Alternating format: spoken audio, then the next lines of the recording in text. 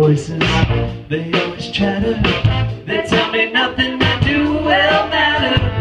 I tell them, shut your face, cause don't you know we're all gonna die? They play the message, they seem so lazy. They ask me, why must I